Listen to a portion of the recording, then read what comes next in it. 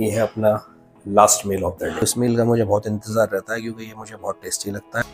अब जाएगी इसमें आइसक्रीम कोई ज़रूरत नहीं आपको टेस्ट से कम्प्रोमाइज़ करने की। बस आपको नॉलेज होनी चाहिए। साथ साथ मैं आपको ये बताना चाहूँगा कि अक्सर हम जब गेनिंग करते हैं ना तो एक गलती करते हैं। वो गलती क्या करते हैं? गेनिंग का मतलब समझते हैं कि सब कुछ खा लेना, ऐसा नहीं है।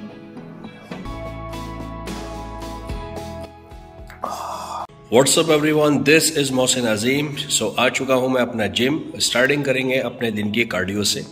कार्डियो बहुत ज़्यादा इंपॉर्टेंट होता है। और यही मैंने वक्त के साथ सीखा कि चाहे आप मसल बिल्डिंग प्रोग्राम पर हो या आपके कटिंग फेस प्रोग्राम पर हो कार्डियो को मिस नहीं करना चाहिए। तो सबसे पहले अपना बॉडी वेट मेजर कर लेते हैं कि बॉडी वेट इस वक्त कितना हो रहा है। तो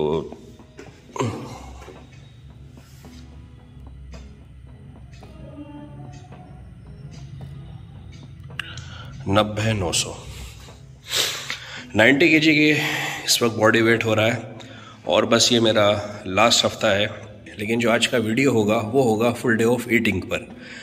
इस वक्त जो है मेरा मसल बिल्डिंग प्रोग्राम चल रहा है और तकरीबन छः सात हफ़्ते हो गए। सातवां हफ़्ता ये चल रहा है छः हफ़्ते कंप्लीट हो गए मुझे अपना मसल बिल्डिंग करते हुए। और तो सोचा कि आप लोगों के साथ अपनी डाइट शेयर करता हूँ तो सुबह से लेकर शाम तक आजकल क्या क्या मैं खा रहा हूँ। तो आज दिखाते हैं आपको। तो चलिए शुरू करते हैं।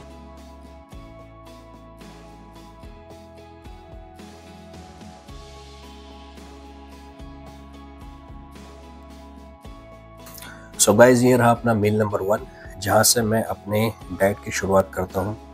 तो मैंने लिए हैं अपने फाइव एग वाइट्स और इसका मैंने सैंडविच बना रखा है, जिसके अंदर मैंने वेजिस डाल रखी हैं।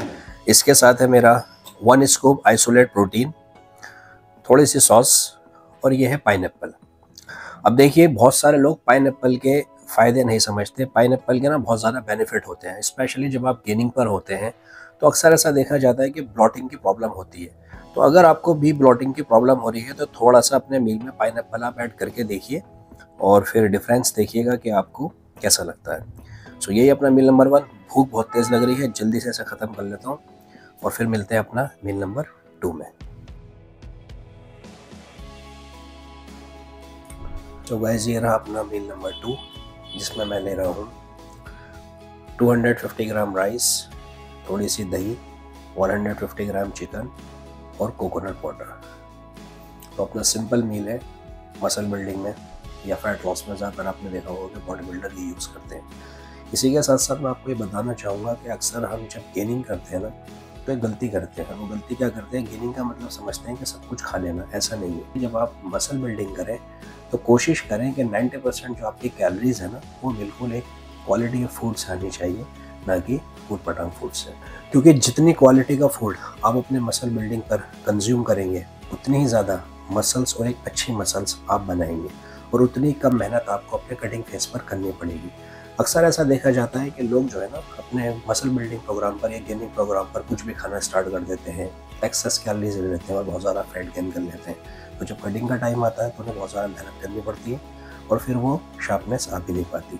तो चलो उसको फटाफट अपना फिनिश करते हैं और मिलते हैं अपना next move meal number three देखते हैं, जिसके अंदर मैंने लिए हैं 200 ग्राम चिकन के शामी कबाब और ये आप बन देख रहे हैं। ये बन जो है ना, ये मैदे का नहीं है, ये वीट का है। तो इस मील का मुझे बहुत इंतज़ार रहता है क्योंकि ये मुझे बहुत टेस्टी लगता है और उसके साथ मैंने लिया है अपना जूस। और इसलिए मैं हमेशा आपसे कहता हूँ कि जो लोग ये समझते हैं कि भाई आप अपनी हेल्थ को अगर मेंटेन रखना चाहते हैं या इसको इम्प्रूव करना चाहते हैं तो आपको क्या नाम है, अपने टेस्ट से कम्प्रोमाइज़ करना पड़ेगा। डोंट कम्प्रोमाइज़ विद टेस्ट कोई ज़रूरत नहीं आपको टेस्ट से कम्प्रोमाइज़ करने की। बस आपको नॉलेज होनी चाहिए या फिर आपके पास एक अच्छा कोच होना चाहिए जो आपको गाइड कर सके। तो अगर आपको गाइडेंस की ज़रूरत है तो मेरा जिम है the Beasta which is located in Jafrabad आप वहाँ आ सकते हैं। और जो लोग मुझसे ऑनलाइन ट्रेनिंग लेना चाहते हैं, वो मुझे इंस्टाग्राम पे डीएम भी कर सकते हैं। सो गाइज़ ये है अपना मील नंबर फोर यानी कि अपना डिनर इसमें मैं क्या ले रहा हूँ? आइए देखते हैं। तो ये है अपना चिकन रैप और इसके अंदर मैंने 200 ग्राम चिकन ले रखा है। और ये है इसके साथ कोकोनट वाटर तो ऐसा नहीं है कि अगर आप बॉडी बिल्डिंग कर रहे हैं, आप मसल बिल्डिंग कर रहे हैं तो आपको सिर्फ़ एक ही तरह का खाना खाना है। न्यूट्रिशन आपका न्यूट्रिशन की अगर आपको नॉलेज है, आपको पता होना चाहिए कि किस किस चीज़ में कितना काब्स मिलता है, कितना प्रोटीन मिलता है तो आप काफ़ी वैरायटी दे सकते हैं। जैसा कि आपने वीडियो में देखा कि मैं काफ़ी वैरायटी रखता हूँ। और यही वजह है कि मैं बोर नहीं होता और पूरे साल डाइट को अपनी मेंटेन रखता हूँ।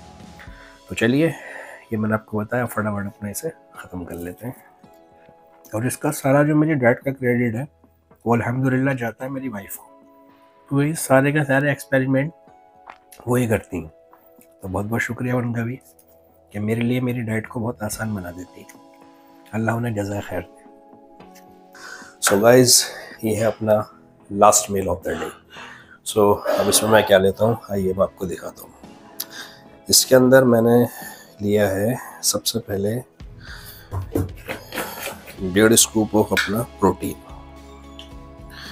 आइसोलेट प्रोटीन का मैं यूज़ कर रहा हूँ, फिर चाहे मैं अपने गेनिंग फेस पर हूँ या अपने कटिंग फेस पर। ये लिया मैंने डेढ़ स्कूप प्रोटीन और इसमें मैंने डाला हूँ दो सौ एम दूध। अब ये दूध जो है ना, ये भैंस का नहीं है गाय का है। काउ मिल्क मुझे ज़्यादा पसंद है, इसीलिए। और साथ साथ इसमें मैंने डाले चॉकलेट यही तो मैं आपको बोलता हूँ ना। अगर न्यूट्रिशन की आपको नॉलेज है तो आप भी बहुत अच्छा कर सकते हैं। ये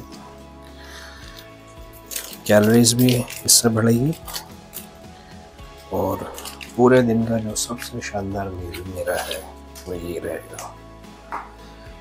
लेकिन अभी ये पूरा नहीं हुआ है। अब जाएगी इसमें ice cream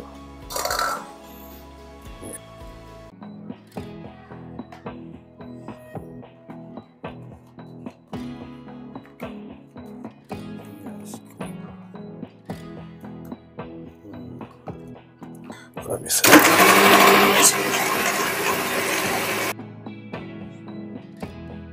so, ये हुआ अपना रेडी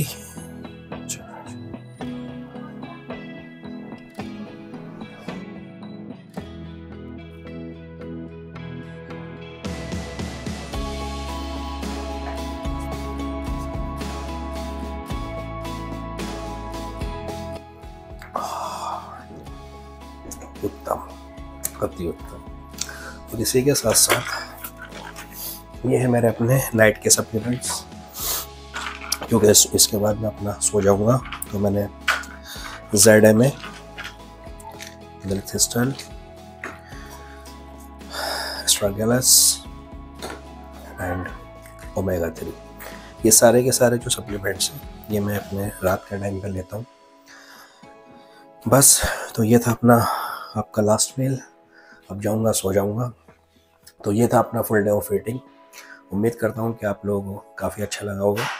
आप भी चाहें तो ये सारी चीज़ें अपनी डाइट में ऐड कर सकते हैं, लेकिन जैसा मैंने कहा कि जितनी भी मैंने क्वांटिटी इसके अंदर ली है, ये मैंने अपने अपने अकॉर्डिंग रखी है, जो इसके अंदर मेरे मैक्रोज हैं, कितना प्रोटीन है काप से वो सब कैलकुलेटेड है। तो आप ऐसा मत कीजिएगा कि आप इसको कॉपी करना स्टार्ट कर दें। हो सकता है आपकी नीड मुझसे ज़्यादा हो, और ये भी हो सकता है कि आपकी नीड मुझसे कम हो। तो देख लीजिएगा। और बाकी जैसा मैंने कहा कि अगर गाइडेंस नहीं है तो एक अच्छा कोच अपने लिए आप रख सकते हैं। आप चाहें तो मुझे भी ऑनलाइन के लिए ऑनलाइन ट्रेनिंग के लिए डीएम कर सकते हैं या मेरा जिम तभी which is located in Jafrabad आप वहाँ भी आ सकते हैं। तो बस ये था आज की वीडियो। वीडियो को लास्ट तक देखने के लिए आप सभी लोगों का दिल से बहुत बहुत शुक्रिया। और जिन लोगों ने भी मुझे इंस्टाग्राम पर फॉलो नहीं किया है, आप मुझे इंस्टाग्राम पर फॉलो कर लें और आप लोगों से रिक्वेस्ट है कि प्लीज़ मेरी वीडियो को ज़्यादा से ज़्यादा लाइक कीजिए शेयर कीजिए। और जिन लोगों ने अभी तक चैनल को सब्सक्राइब नहीं किया है प्लीज़ सब्सक्राइब कर दें। Thank you so much